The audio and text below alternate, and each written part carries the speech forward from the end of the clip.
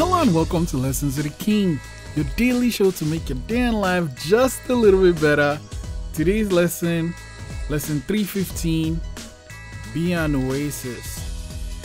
So, uh, yeah, you know, someone is there in the desert, there's no water, they are dying of thirst, and then they, oh my god, the oasis is here, I can get all this water. You want to be that person. It's not necessarily about hanging out in the desert, but it's about being that one person that they know they can rely on, someone they can reach out to when times are tough, someone that's like this safe space for them to be their true self.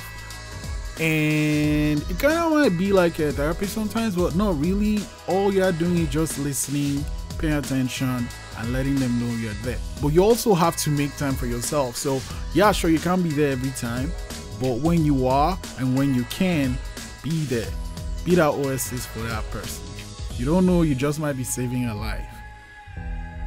Prompt 315 What was the last time? When was the last time you helped someone struggling? Lesson 315 Be an oasis.